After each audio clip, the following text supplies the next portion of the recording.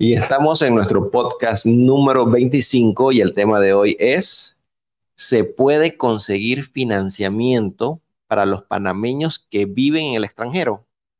Evelyn, la respuesta es... Sí, sí se puede conseguir financiamiento para los panameños que residen en el extranjero desde hace muchos años o para los panameños cuyos ingresos provienen del extranjero. Sí se puede conseguir financiamiento. Ok, ¿y cuáles son esos requisitos? Ok, vamos a hablar particularmente para atender a todas esas preguntas que nos llegan de esa comunidad de panameños que residen en diferentes ciudades de los Estados Unidos, que tienen 15, 20 años viviendo allá y finalmente quieren tener una propiedad en Chiriquí porque se jubilan o se retiran dentro de dos, tres años, ¿no? Hablemos pues de eh, los panameños que residen en Estados Unidos obviamente sus ingresos vienen del extranjero. ¿Cuáles son esos requisitos? Ok. Empecemos por el formulario federal 1040, que es el income tax de por lo menos los últimos tres años. Adicional, agreguémosle a eso el formulario federal W2, también es muy importante.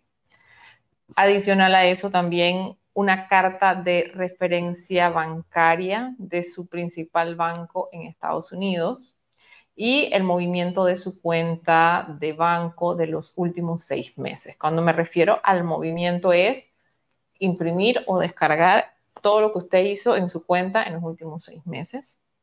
Muy importante, eh, aparte de que muy probablemente usted no va a tener un historial de crédito en Panamá, entonces tiene que aportar una copia de su credit score o de su puntaje de crédito en Estados Unidos. Y eh, pues obviamente viene la parte de las identificaciones, su pasaporte y su cédula de identidad. Obviamente eh, allí aplican, pues podrá ser su cédula panameña o su cédula de identidad personal en Estados Unidos, ¿no? Lo importante es aportar dos identificaciones. Esos serían entonces los principales requisitos. Les vamos a dejar aquí también en la pantalla eh, el detalle, por si los quieren anotar, para que entonces con tiempo se prepare y recopile toda esta información.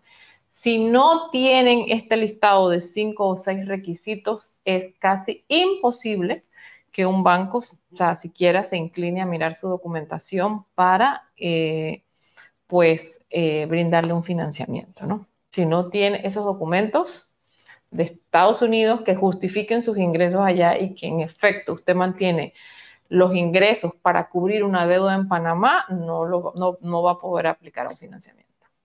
Entonces, ¿sacar un financiamiento es fácil o difícil? Eso depende.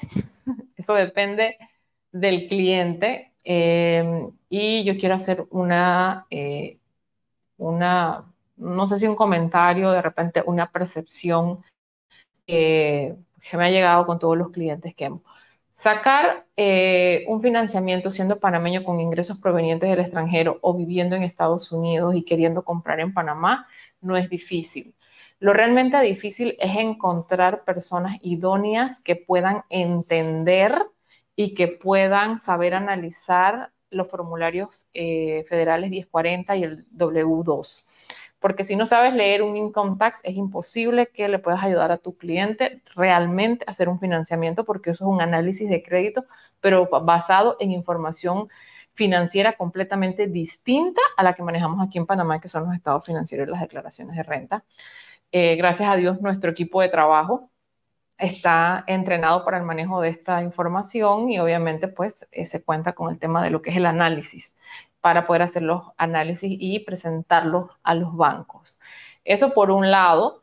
Eh, y lo otro es que entre más el cliente se ajuste a cumplir con los requisitos, número uno, el listado de requisitos que hemos dado, se asesore con personas que realmente conozcan cómo se maneja un crédito bajo estas características y que también te pueda guiar sin perder tiempo qué bancos realmente te pueden aprobar o aplicar o dar las condiciones favorables para ti, pues pienso yo que esos tres puntos, esos tres puntos son la ecuación más importante.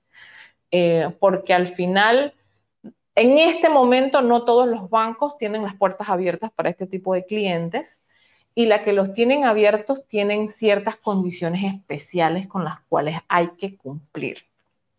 Como por ejemplo, ¿cuáles son esas condiciones especiales? El down payment o abono inicial.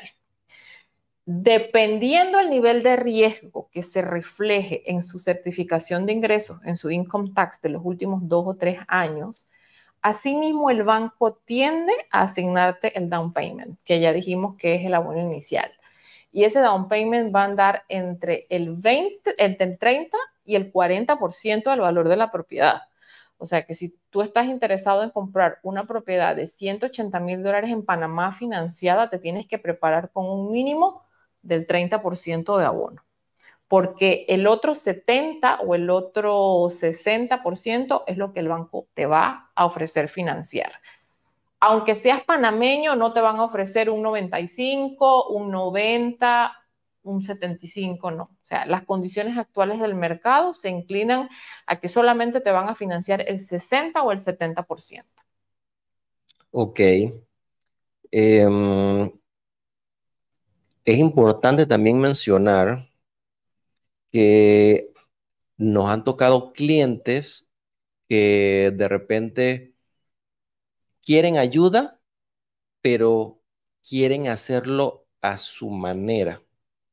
Y este detalle que voy a mencionar es muy importante para las personas que nos siguen, que se nutren con esta información, porque prácticamente no hay tanta información en la calle. La gente tiene que venir, ir al banco y, darse tres golpes para descubrir cómo funcionan las cosas.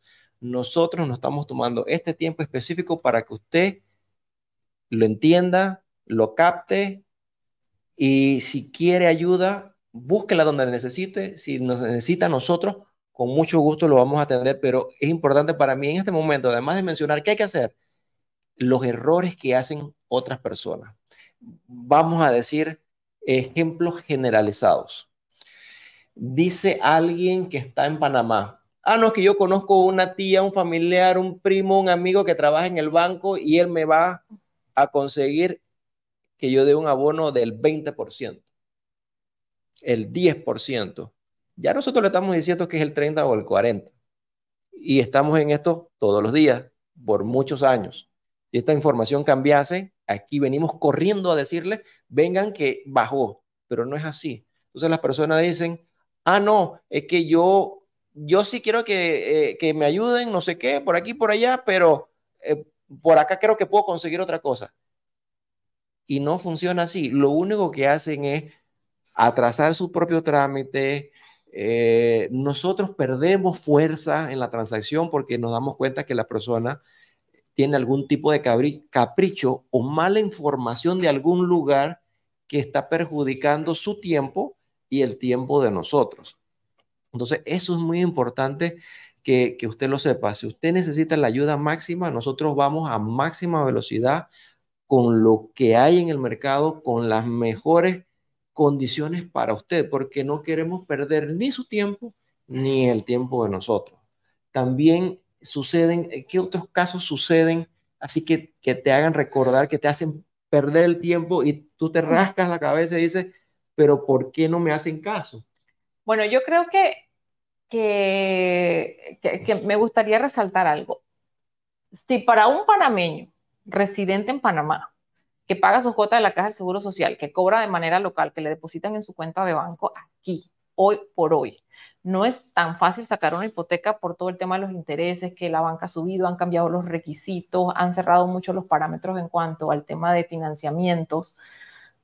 No está siendo tan fácil o por lo menos es más es un poco limitativo. Ahora imagínense con alguien que viene con sus ingresos de otro país y que su residencia principal está en otro país. Entonces, este es un procedimiento que por lo menos a nosotros nosotros nos tomamos el tiempo de analizar el caso. Cuando hablo de analizar el caso, hablo de montar un análisis de crédito basado en la información financiera que usted nos envió desde Estados Unidos para presentarlo al banco, porque de esta manera recortamos el camino. ¿Por qué? Porque muchas veces los bancos no tienen analistas locales para este tipo de información y lo que hacen es que recepcionan aquí y envían a Panamá. Ese es el punto número uno. Entonces, esperar un tipo de respuesta para este tipo de clientes del banco, eso es algo que no es tan rápido. Una cotización para un cliente local nos puede tardar entre 24 y 72 horas, porque acuérdense que los bancos atienden por orden de llegada, pero un análisis o una cotización de parte del banco con una precalificación, una preaprobación de un cliente panameño con ingresos provenientes del extranjero, residente, por ejemplo, en Estados Unidos, es un tema que va a tardar entre cuatro y seis semanas. No espere una aprobación en ocho días. No espere una aprobación en diez días. Porque cuando usted mande los, por eso es que yo les recomiendo siempre a los clientes, si usted está pensando en diciembre, en venir a escautear las propiedades que a usted le van a interesar, entonces comience ahorita a hacer el ejercicio. Para eso, gracias a Dios, existe la tecnología, existe el email, el WhatsApp y todo esto, y vaya enviándonos toda su información en este momento para ir haciendo la calificación con los bancos, que los bancos vayan haciendo la radiografía, nosotros igual vamos haciendo el análisis que le presentamos a los bancos, y usted va a tener septiembre, octubre y noviembre para recopilar todo lo que le van a pedir y cuando usted llegue aquí entonces va a saber, ah, ok, yo estoy precalificado en Panamá para comprar una propiedad hasta 120 mil, hasta 180 mil, hasta X cantidad y también usted de antemano va a poder saber cuánto es esa letra y cuánto es la tasa que le van a asignar. Que de salida es entre el 7.25 más el 1% de FESI o el 7.50 más el 1% de FESI. Y el plazo para este tipo de financiamientos está oscilando entre los 20 y los 25 años. Y tienen, obviamente, los bancos toman en cuenta la edad que usted tenga en este momento, ¿no? Porque no suelen pasarse de que una persona mayor de 80 años cuente con un financiamiento activo. Entonces, si hacemos todo ese trabajo con antelación, cuando usted llegue o cuando usted viaje finalmente físicamente hasta Chiriquí, ya de antemano usted va a saber, ok, aparte de todo lo que Evelyn dijo en el podcast, toda la pantalla que le pusimos de cuáles son los requisitos, si hay requisitos extras, porque lo puede haber, yo le estoy dando solamente los más eh, similares o característicos, que sé que son la base de partir pero puede que le pidan otras muchas cosas, o sea, puede que le pidan em, otras cartas de referencia bancaria, puede que le pidan una carta de la empresa para la cual usted laboró los últimos 20 años eh, y así sucesivamente. O sea, nosotros aquí, gracias a Dios, hemos logrado aprobar a clientes que trabajan para empresas en Bahamas, que son, eh, que tienen su sede física en Miami, pero su sede fiscal y legal está en Bahamas. Eh, y hemos logrado conseguirle financiamiento en la banca local, siendo panameños, obviamente, ¿no? Pero ¿cómo se logra esto? Obviamente, dejándose guiar, número uno, porque recuerden que el sistema bancario panameño y el sistema de moneda es dolarizado igual que en Estados Unidos, pero es completamente distinto el manejo. Entonces, eh, en Estados Unidos muchas veces las políticas están regalando la plata a los bancos, entre y le dan tarjeta a todo el mundo y le dan financiamiento a todo el mundo. Aquí no, aquí se cuida mucho el riesgo y los bancos se cuidan mucho en eso y no porque usted sea panameño es precisamente elegible para un financiamiento. Tiene que cumplir con estos requisitos, dejarse guiar, enviar la información correspondiente y mantenerse siempre, como quien dice, tratando de documentar el más mínimo detalle que pide el banco. Si usted cumple con esos tres requisitos, su financiamiento está asegurado. Eso básicamente es lo que, porque, ¿qué pasa? De repente el cliente y yo también me pongo a pensar, no, es que mi mamá vive allá o mi abuela o mis primas me dijeron que fuera a tal banco porque, porque allá es más, no. O sea, eh, quizás esta persona está hablando desde su experiencia con una hipoteca, pero siendo panameña, viviendo en Panamá con ingresos desde aquí o siendo independiente. Y esa experiencia es completamente distinta. Las condiciones bancarias para panameños residentes en el extranjero existen, se dan, el financiamiento es viable, pero tienen que cumplir con los requisitos, tienen que dejarse guiar y tener en conocimiento de que es un proceso para el cual hay que tener paciencia. Pero más que nosotros quisiéramos darle respuesta a las 72 horas, no es tan rápido, lleva su tiempo, ya como les dije, entre cuatro y seis semanas obtener eh, una respuesta.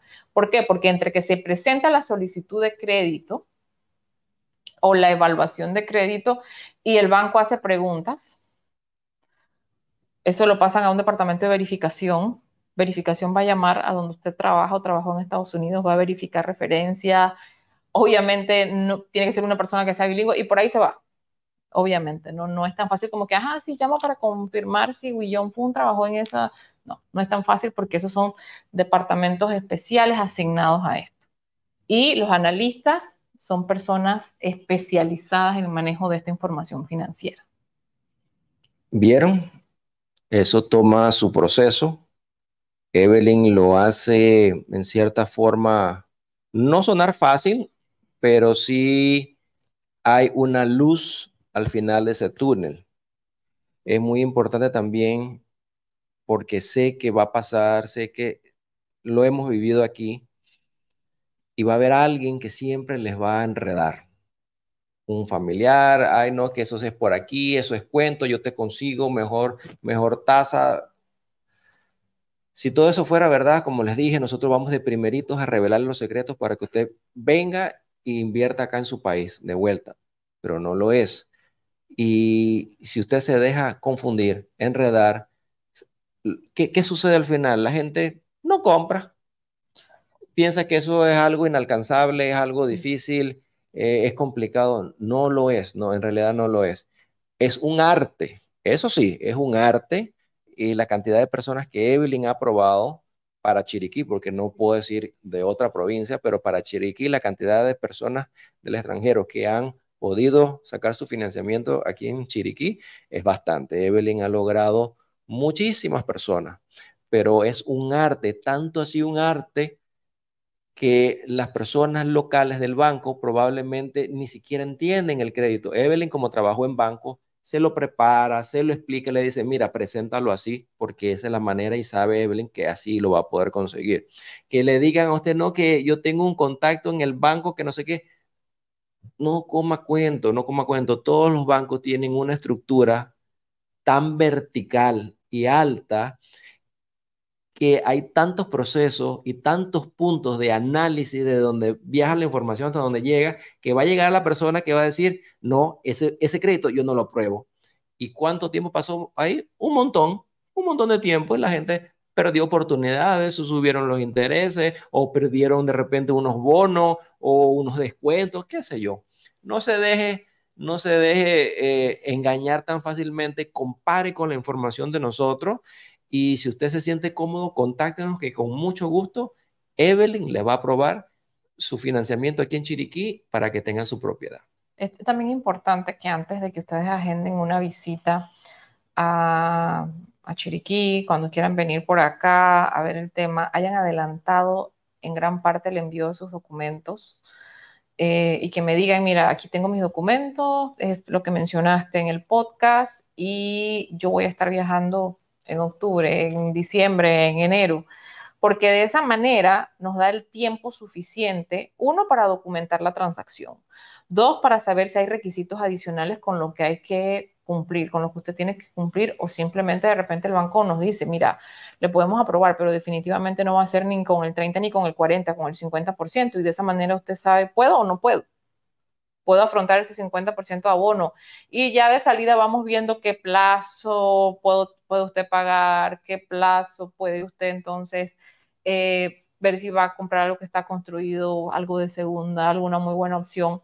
Pero ya sea en el caso de este tipo de clientes, nueva o usada, los requisitos son los mismos. Y la tasa de interés es la que ya mencionamos. Y recuerden que el tema de la tasa de interés es un tema que es fluctuante, que es cambiante y que eh, obviamente pues está en constante cambio. En este momento, septiembre de 2023, es lo que estamos mencionándoles en este video. Así que bueno, ya saben amigos, información de primera clase, contáctenos y con mucho gusto les vamos a ayudar.